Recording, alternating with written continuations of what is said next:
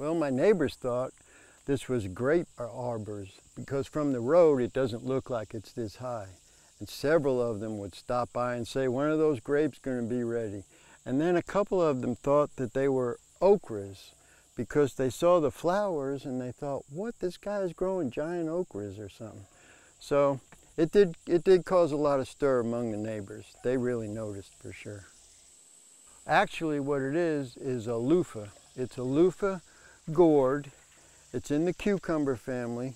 Each one of these flowers is the male flower and they come off every day. All these flowers come off. The females have their own special flower and it turns into the loofah.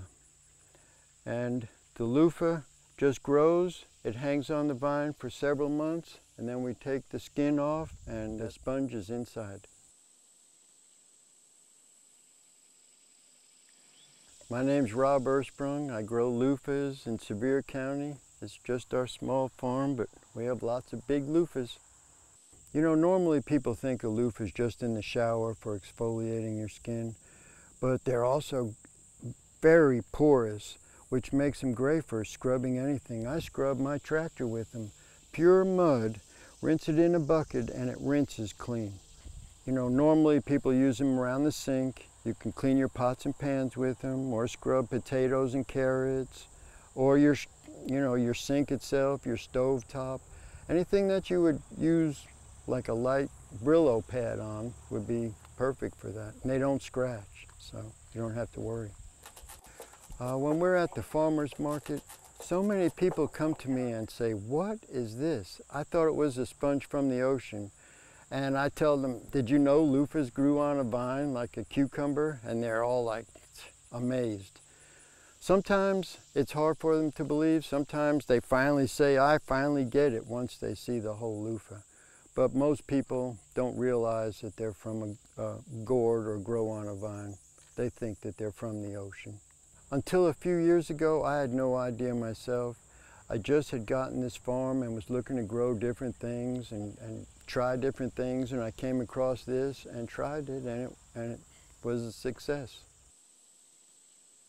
I was born in New York City in the Bronx. I lived there until grade school where we moved out of the city. My dad worked on the New York Stock Exchange and I followed in his footsteps but only lasted about two years and when I got married I hit the road and I traveled around the country 47,000 miles and stopped in Sevierville on September 14th, 1977. That was my 24th birthday, just by coincidence.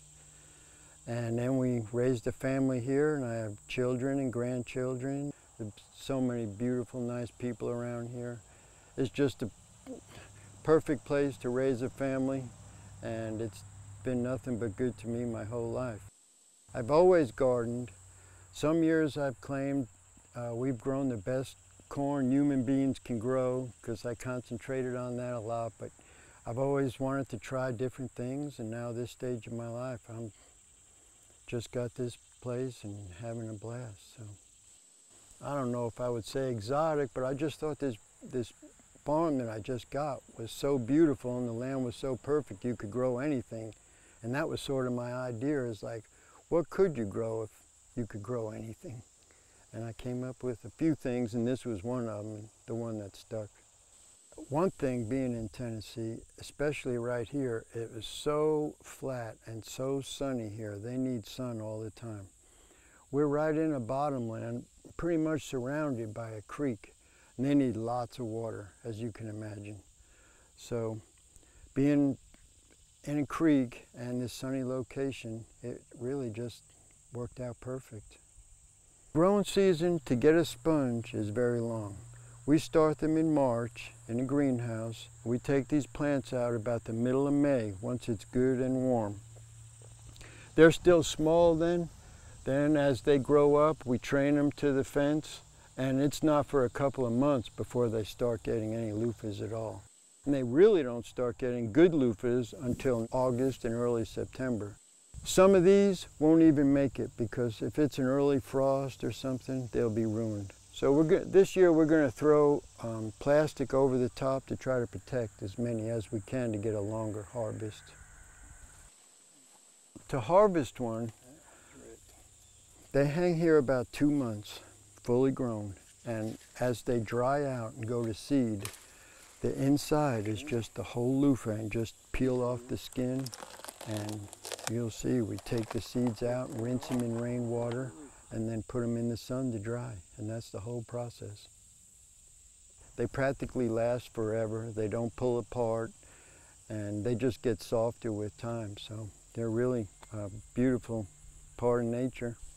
Whenever I tell people that they're practically indestructible and you can't pick them apart, they're always like, Mother Nature always does it better. And it really seems to be the case because they just get softer in time. People ask me, how long do they last? And I just tell them probably, if you take care of it, just as long as you want it to. We use them for this, we use them for that. Next thing we use them for something nasty and we're just done with it after several months and throw it away and get a new one. But if you wanted to, you could, you could keep them for years. When I first started growing the loofahs and what I was interested in learning about here was about farming and I bought a cool old tractor. I wanted to grow things green and sustainable. I thought with this bottom land, I was just researching anything that could be grown. I figured it could be grown here in pure sun and this beautiful bottom. And that's why I thought I'd try it because actually they say they're hard to grow and they're not a good cash crop. But being retired, I'm more or less having fun and that's a bonus.